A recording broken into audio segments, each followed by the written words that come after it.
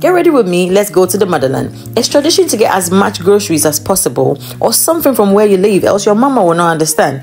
Black people will get me, white people will never get this. But she has to feel like she lives there with you. Mm-hmm. I asked a friend what she wanted, and all she could say is cat food. So, well, you were a strange one. I got a couple of things from Shein, and then on the day of travel, I was hyper. So excited to go back home. It's been almost a year, and my body was itching. I wanted to go back home. I needed the sunlight and some fresh food. Don't get me wrong but the weather in UK is crappy. I go to the airport and I got in a bit of trouble because they said butter is apparently liquid and I wanted to take it. I was not going to bin it. It was for my sister. She loves sunflower. Finally, got the favorite part of every flight.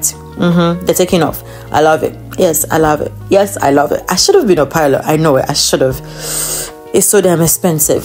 I finally got to Casablanca where I was making a transit to Ghana, and I think the airport there is pretty decent. It's really lovely, quite nice I got to Ghana and I asked for feelings because Abadop is talking so much about it and I had to enjoy. Got to Kumasi, had my nails done, and then I refreshed my brows. These are the things I would do in Ghana because it's way cheaper.